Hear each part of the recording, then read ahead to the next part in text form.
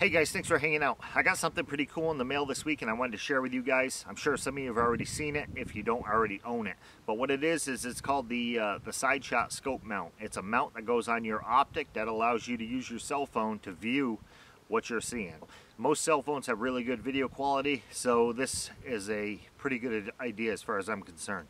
Um, We'll take a quicker look at it and show you guys what it's about. So this is a little bit closer of a video. You can tell it's uh, pretty well thought out. It's got a lot of adjustment and it's got a lot of hardware.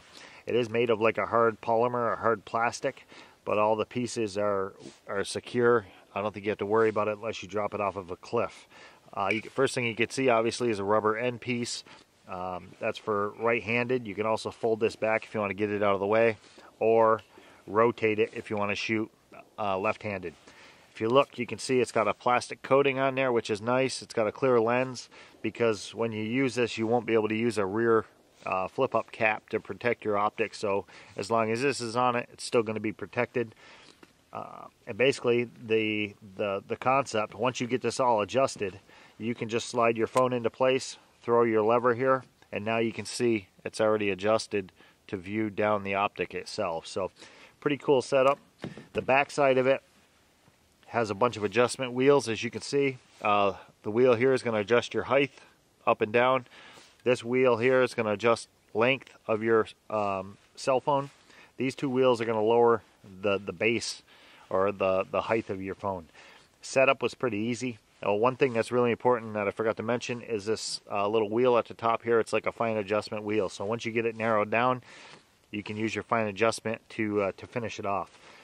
Um, like setting up a scope for your eye, you want to do this probably on max magnification. It's going to give you the best field of view. If you get it set at your max mag, everything else is going to fall into place well, and you're going to have a wide field of view. Um, this is basically the additional piece that you have to get. This all comes as a kit, but if you want to switch from one rifle scope to another, this is going to be the piece that you'd have to buy additional. Uh, these are, I think, $50. They're not cheap if you want something that works, you got to spend a little bit of money. The directions tell you that they want to get this piece here. It's got a, I don't know how good you can see it, but it's got a little rim on there. You want that basically to butt up against the eyepiece. So I did have to slide my ring forward, which isn't ideal, but if I want to use this, I guess that's what I got to do. And then this just slides into place.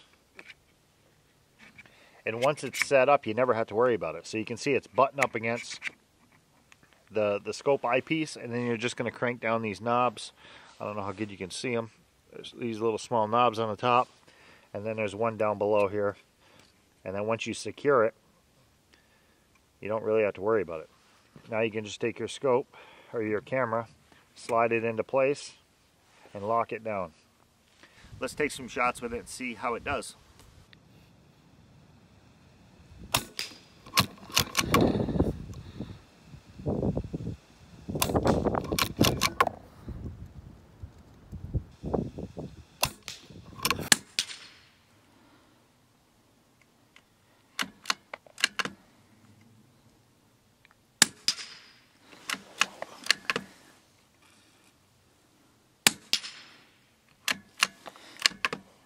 That's about 50 yards oh. over the top.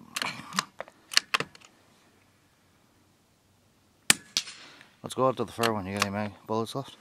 That wind's pushing pretty good.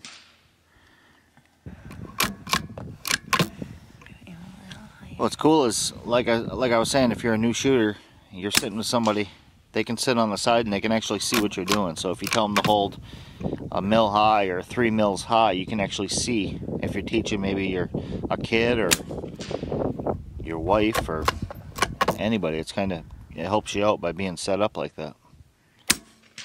Got it. Right in the middle now. Maybe this weekend we'll get it out and put it on some bigger rifles and see how it handles under a little bit of recoil. Thanks for watching guys. I'll catch you on the next video.